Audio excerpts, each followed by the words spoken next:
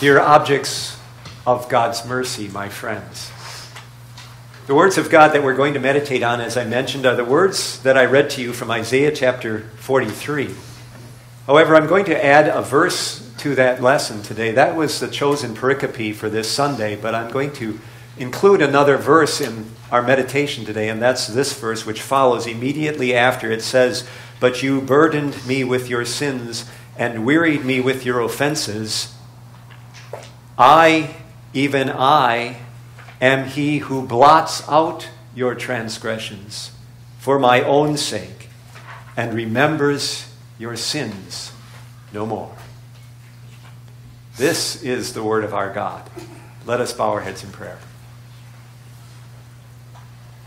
Lord Jesus, we come to you knowing our sins, O Lord.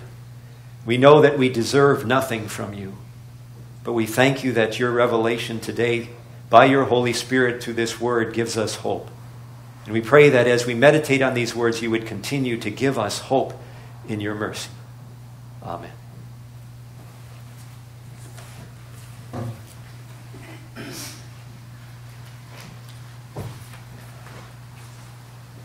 Dear friends in Christ, AT&T wants you to believe that they are the best wireless company.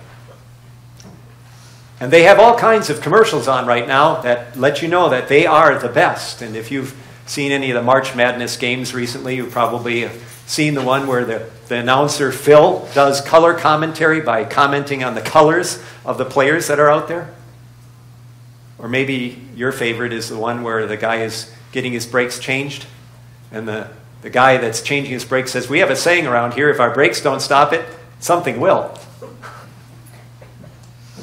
Or maybe your favorite is the one where the guy is getting a tattoo and the guy that is getting the tattoo is a little concerned and he questions him and, and the guy with, that's giving the tattoo says stay in your lane bro they're kind of ridiculous commercials the point of the commercial is just okay is not okay. And so when you see these people doing these kind of half-hearted things, the idea is AT&T does better. They do best. And their slogan that you hear all the time is, we do, you do, or, I'm sorry, um, more of your thing so that, that we do our thing is why we do our thing. I'm sorry, got it mixed up a little bit there. More of your thing, that's why we do our thing. And forgive me, but when I read our text for today, those words are what stuck in my mind. Only I'm going to change them just a little bit today. More for our thing. That's why God does his thing. See, God does a new thing, we're told in our text today. And that new thing that he does is what we respond to and we do our thing because of God's new thing that He's done for us. And that new thing that God does for us is not dependent at all on the old thing that we tend to do. Got it? Let's sort this out a little bit. Let's start with the new thing that God does. See, Isaiah begins with a thing that God had done for God's people. And that thing was a great thing that God had done for them. It was when they were slaves in Egypt and had been slaves for a long time. And God did a great thing for them. He redeemed them, He saved them out of that captivity that they were in. And the pinnacle thing that God did in that is what Isaiah mentions as the Lord speaks here. He talks about God who delivered them from Egypt by drying up the Red Sea so that they could pass through that Red Sea on dry ground. That was a great thing that He did for them. And even greater than that was when the, the army of Pharaoh and his chariots followed in after that, that God allowed those waters of the Red Sea to come back into their place and drowned and wiped out the entire powerful army of Egypt. So that the people of Israel didn't have to ever worry about them again. They were free of that slavery once and for all. That was such a great event in the lives of the people of Israel that it became their identifying feature, that they were the redeemed people of God. In fact, in Deuteronomy chapter 5, God bases their keeping of the third commandment on that great event in their life. And they celebrated the Passover annually, year after year, to mark that great event that God had redeemed them. But today, the Lord comes to his people and says, Forget the former things. Don't remember them anymore. Well, why would he say that? Because he says he's going to do a new thing. A new thing. And this new thing is greater than the old thing. It's not that God didn't want them to think about the Passover anymore or not do it anymore. It wasn't that God didn't want them to remember that He delivered them from Egypt. But in comparison to what He was about to do, the new thing that He was going to do for His people, that paled, meant nothing anymore. So, what is that new thing that God is going to do for His people, Israel? Well, you have to remember here that Isaiah, in his prophecy is continually prophesying to the people of Israel that they are going to go into captivity in Babylon because they had turned away from the Lord again and again and again in their lives. And that meant that this great nation to the east, this Babylonian empire that they were hearing about, was going to come over to Jerusalem. It was going to knock down the walls of Jerusalem. It was going to destroy their temple. That meant no more worship. It meant that they would be carried off into Babylon. It meant that they would be in despair and captivity for years. But then the Lord says, and then I'm going to do a new thing. And that new thing was that he was going to deliver his people from those Babylonians. From this immense nation. Nobody could even imagine that Babylon was ever going to fall. It was such a tremendous nation and powerful nation. And yet God said, he was going to deliver his people from Babylon. And he pictures that in our text by talking about how he's going to lead them back through the wilderness and provide water for them in that redemption of the people from Babylon, bringing them back home again. In fact, he says even the wild animals in the desert are going to celebrate and rejoice because of the water that I'm going to provide for you in the wilderness. That's the new thing that he was going to do for them. The new thing was he was going to do a greater deliverance, an even greater redemption of the people of Israel, to bring them back and make them his people again.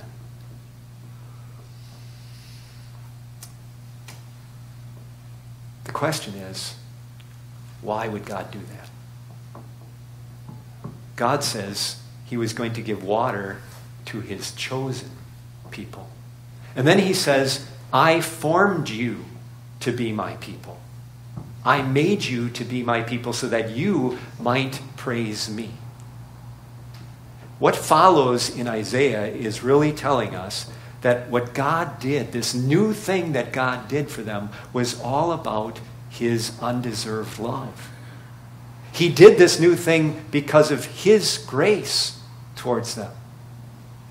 Now, in our text today, there, the verse 22 is an interesting verse because how you translate that verse makes a difference on how you understand what comes after it. And there's two different ways that this could be translated. The NIV takes one direction. It says, Yet you have not called on me, Jacob. You have not wearied yourselves for me, Israel.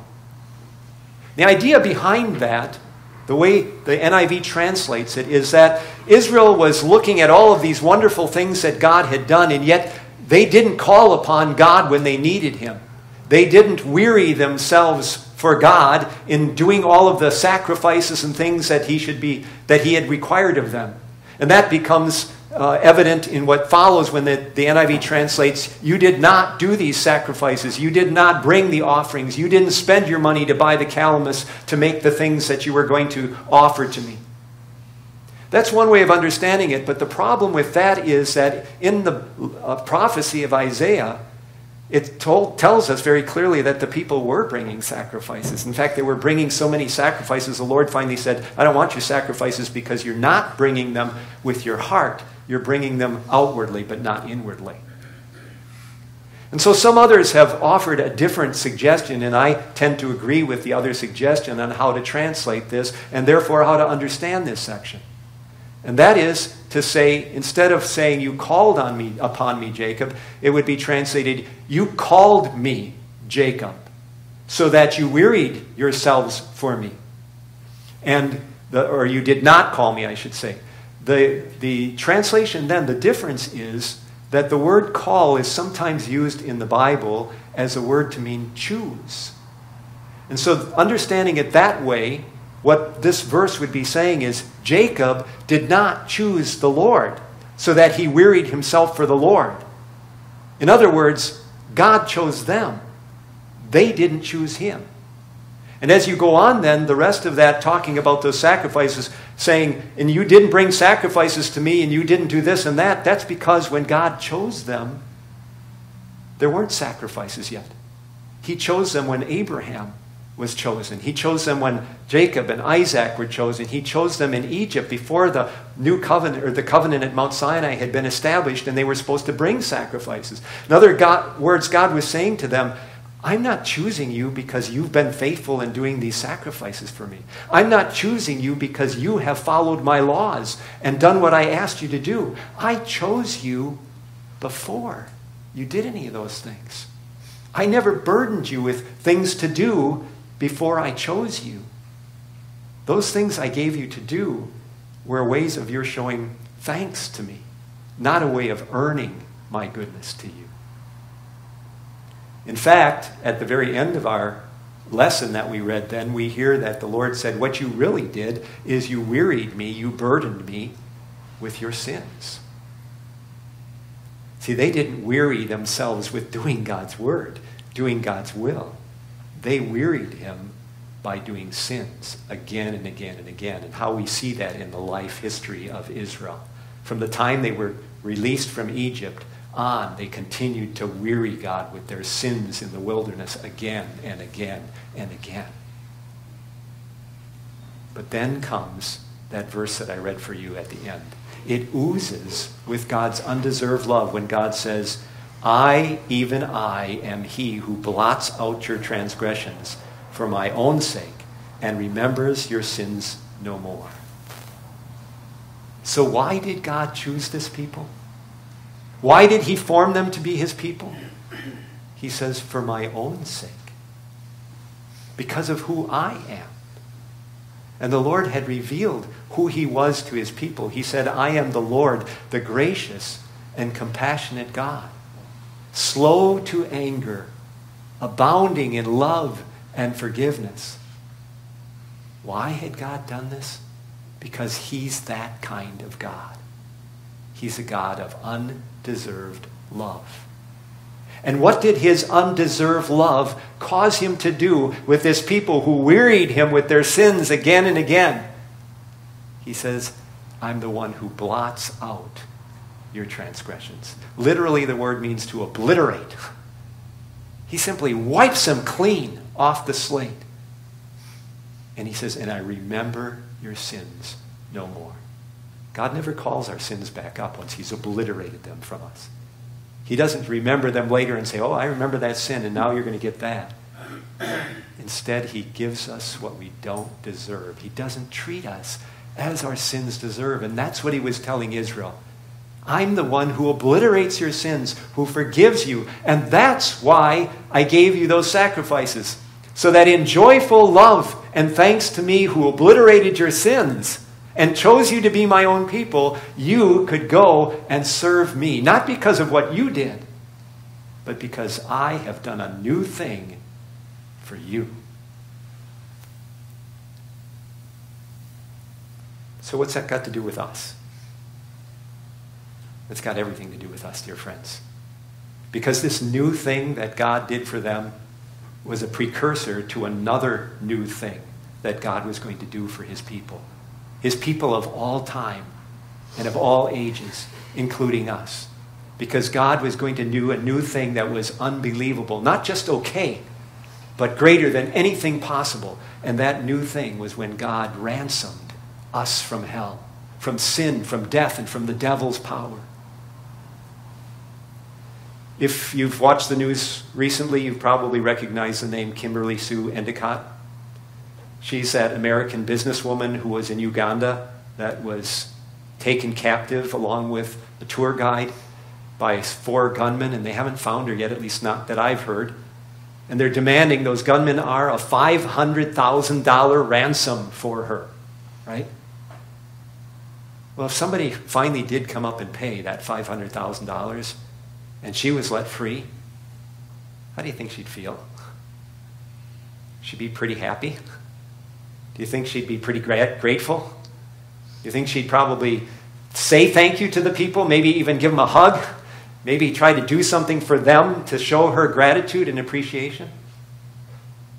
See, friends, we were enslaved. We were captured by sin and death and hell. And the ransom price that was demanded for us was not $500,000, it was our life. It was eternal death that had to be paid for us. And God did something that was not just okay, He did something brand new that was unbelievable because God offered His Son, His perfect Son, whose innocent blood was worth more than $500,000. And His innocent blood shed for us paid the ransom price for you and for me. And we are free. What is our reaction? What will we do? See, our response to God having chosen us is to serve Him, is to rejoice in Him, is to do our thing. Our thing is because of what God has done first, His new thing that He did for us. That's why we do our thing, and our thing is not to earn God's love, our thing is to show thanks for God's love in our life. And God has said to us that He has blotted out our sins as well. He's obliterated them. He's freed us, and He doesn't remember our sins anymore, and so we can do this without fear of ever having our sins come back on us again.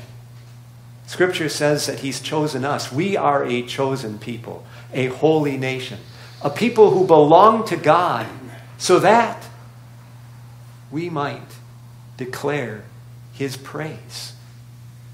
The one who called us out of darkness into his wonderful light. That's our thing. Our thing isn't earning heaven. Our thing is praising the God who's already won heaven for us. Do you get tired of doing that? Do you weary of praising God in your life? Do you weary of coming to hear his word sometimes? Do you weary of loving others as yourself? Do you grow weary of the crosses that God places on you in your life? We tend to get weary, just as the people of Israel did. That, that's our old thing, and we tend to go back to the old thing. And that's being weary of God again. And so we weary God with our sins again and again. There's a warning that the Apostle Paul gives us in Romans this morning about when we do that, because finally, the people of Israel wearied God to the point where they no longer repented for the sins that they wearied him with. And God cut them off. And then God did another new thing because he grafted in the Gentiles, a people that were not his people, that he hadn't chosen. But now he chose them too and grafted them into the tree whose root is Jesus. But Paul warns us be careful that you don't become weary that you don't take for granted that grace of God because you could be cut off too. And so this season of Lent is a time for us to humble ourselves, friends. To humble ourselves before God and confess the weariness that we have done in our sins against God. But know, but know as you humble yourself that God is the God who blots out your transgressions, who obliterates them. God is the God who forgets your sins. And not because of what you do, but for his own sake, for Jesus' sake. You see, that's God's thing. God's thing is forgiving. God's thing is having mercy again and again on us. Just okay is not okay. That's, that's true with God too. Just okay doesn't get you to heaven. You have to be perfect to get to heaven. And that's why God did something that was far better than okay. He sent his son. And his son made us more than okay. He, his son made us perfect. Perfect in his sight forever. So that we, knowing God's thing more and more, which is forgiveness, we can do our thing then more and more. And our thing is giving thanks. Our thing is remembering that God didn't do his thing because of us. He did it because of his grace, his undeserved love. And our God isn't just okay. Our God is great. Our God is the true God. He's the only God. And his thing is forgiving and forgetting. Amen.